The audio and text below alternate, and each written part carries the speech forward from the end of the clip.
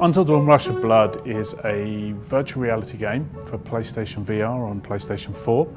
Uh, it's a roller coaster ride, a shooter experience, and all the descent into madness of one of our characters from Until Dawn. So taking some key scenarios and things that we know from Until Dawn and approaching them in a very, very different way. In Until Dawn, one of the key things was the branching storyline. You know, the choices you made had impact. So this is Until Dawn Rush of Blood. It's a very different style of game, but it wouldn't be a game in the Until Dawn world if we didn't have choices and the impact. So I'm not going to give anything away about how we're implementing it, but rest assured there are going to be decisions and choices you make while you're playing Rush of Blood that will impact the rest of the game and impact how you play.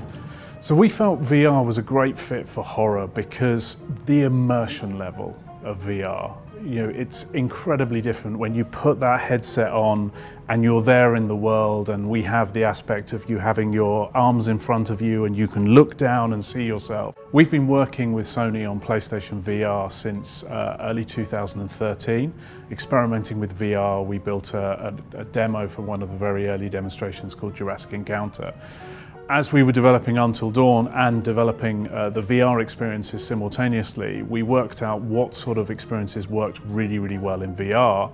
And then as we were working that out, it became really obvious that the world and the characters and the environments we were creating for Until Dawn would be a really great fit for putting in a completely different way and delivering as a VR game experience.